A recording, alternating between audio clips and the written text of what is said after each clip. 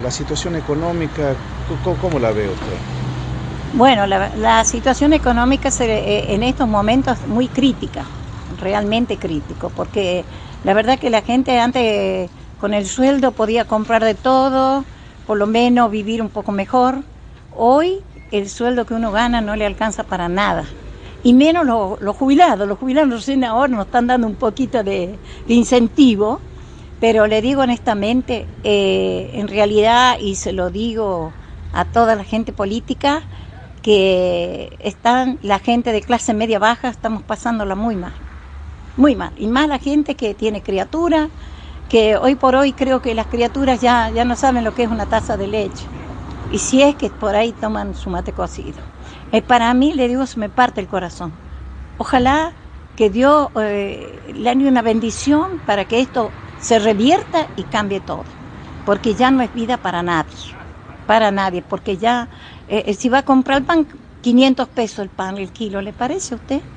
¿Cuál es el niñito que va a poder comer si son 5 o 10 personas en una casa? ¿Pueden comer todo? No, no. ¿Pueden comer carne? No.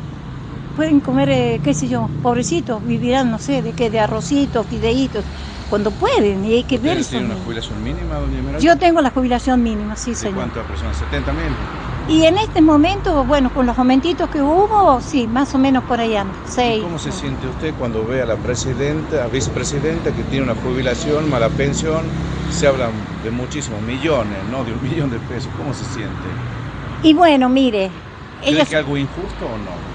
Y yo, yo siempre digo de que, que los políticos que estén enfrente, donde están, donde, ¿cómo es?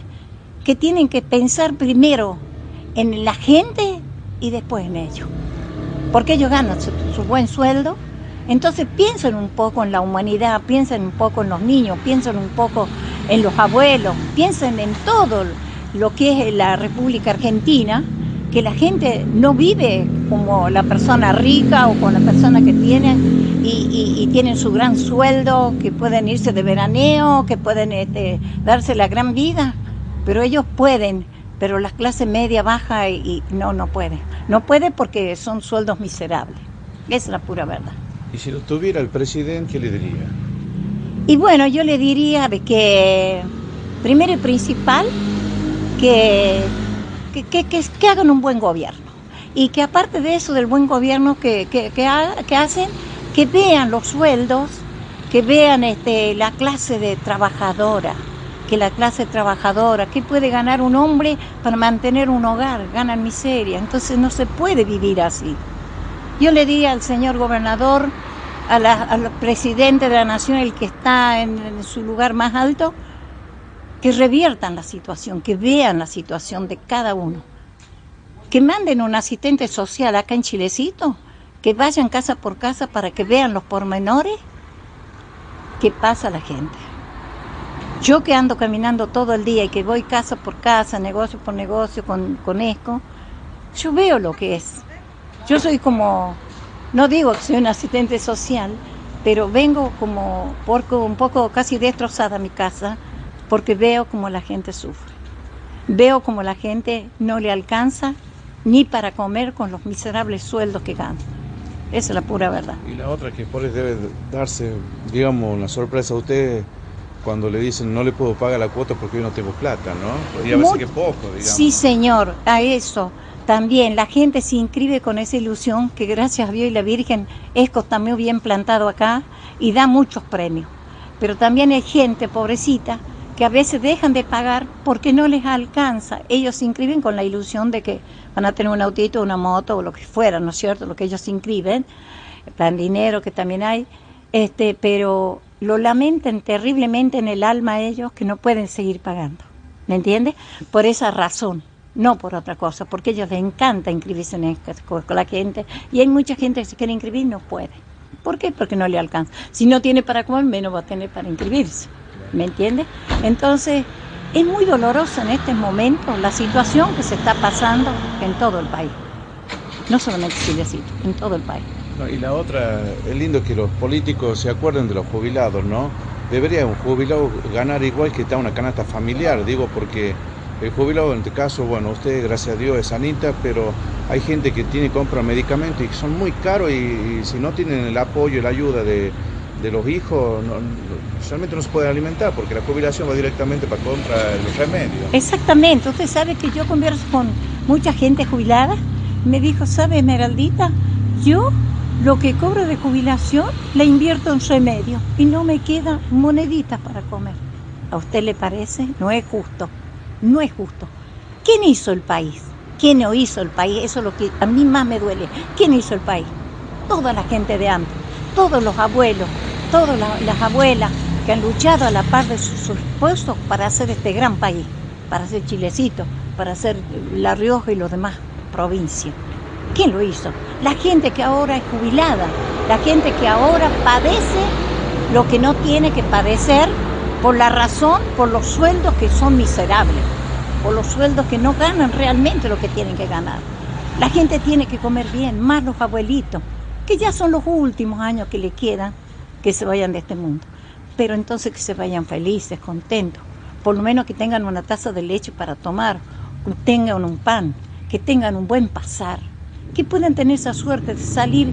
Y el gobierno estaría que dar gracias a vacaciones, que se vayan a conocer las provincias, que ya sería, lo, digamos así, casi lo último que uno vive en la vida, en la tierra esta, y que les, los ayude, que piensen, que se pongan la mano en el corazón y que digan, no, pobre, los jubilados hicieron el país. ¿Quién hizo el país? Yo lo hice. Yo ya, cuando ya vine a este mundo ya estaba el país hecho pero también colaboré en ser buena persona, en, si tengo, ¿por qué no lo voy a ayudar al otro? ¿Por qué? ¿Por qué? ¿Por qué los gobernantes no se ponen la mano en el corazón y digan, esto no es un sueldo para un abuelo, esto no es un sueldo para, para un albañil, para, para, para, para la gente que trabaja y que tiene, es clase media baja? Son los que más sufren. Imagínense los albañiles que pueden comer se van a trabajar y capaz que al mediodía comen un sándwichito de, fiambre y con eso pasan hasta la noche, hasta que vuelvan a su casa para comer, comer un plato caliente de comida. ¿Es justo eso? No es justo. Entonces, demos fuerzas a la gente para que la gente pueda estar mejor, para que la gente pueda darse el gusto comer una fruta. Porque los abuelitos ni siquiera una fruta pueden comer. Los niños comen fruta, no comen porque los padres no les alcanza si apenas les pueden hacer una triste comidita al mediodía para que coman. Toman mate cocido cuando tienen, comen pan cuando tienen, cuando les alcanza. ¿Le parece justo? No es justo, no es justo, porque los que tienen mucho y pueden vivir bien, comer bien, su buen postre, su buena comida, su buena fruta, su buena todo, que se pongan un poquito la mano en el corazón y que digan, no, tengo, tengo que ser más flexible, tengo que ver a aquel que más sufre, el que, el que, el que menos tiene hay que darle una mano. Dejemos los bolsones de al lado, porque a veces los ayudan con los bolsones, pero dejemos un poco, den trabajo, porque la gente necesita trabajo. El albañil que, y el, que trabaja, por ejemplo, en la finca, se va a la mañana temprano, ¿y qué tomará esa pobre persona? Un mate cocido y se van a trabajar. Y después vienen a la noche a comer lo que poquito que la, esposa pobre le puede hacer. ¿O no es así, don Fris? Es así. Así que yo diría que, que este, este, esta Argentina tiene que revertir la situación, tiene que cambiar un poco la imagen de los gobernantes y que se pongan la mano en el corazón, así como que ellos comen bien, su buena comida, su buen postre, su buena cena, su buen almuerzo, los niños también necesitan comer también, como ellos, y la gente también, porque no es posible que ellos tengan de la mejor comida, mientras que otros pobrecitos están anémicos porque no comen bien. ¿eh? Los chiquitos van a la escuela y habrá chicos que toman la leche y habrá chicos que no. Y si es que lo toman un mate cocido, porque por ahí la madre no tiene azúcar, no tiene el té, no tiene esto, le falta lo otro, ¿y qué hace ese niño? Se va como, como nada, así, sin nada, porque realmente no, la, su pobre gente no le alcanza. Esa es la pura verdad.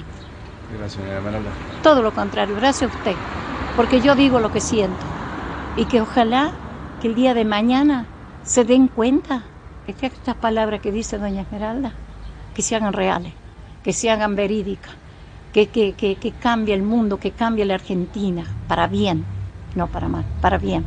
Y que los niños, no haya más niños enfermos porque están débiles, porque no tienen realmente lo que realmente tienen que tener, su taza de leche, su, su pancito, su lo que sea. Porque realmente eso es lo que vale, eso es lo que vale.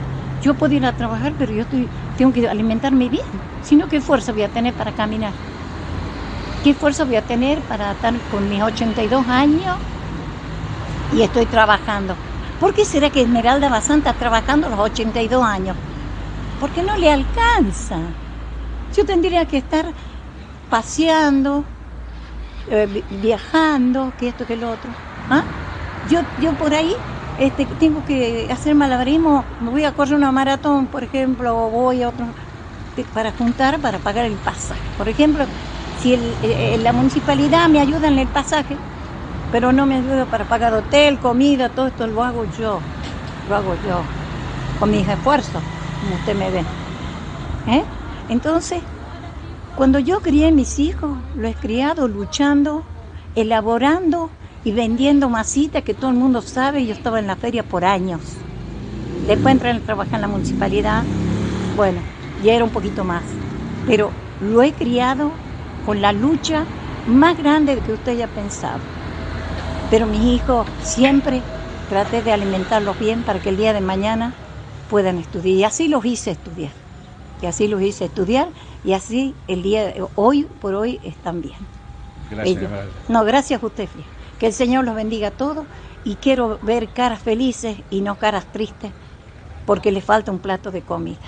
Eso es lo que más pido.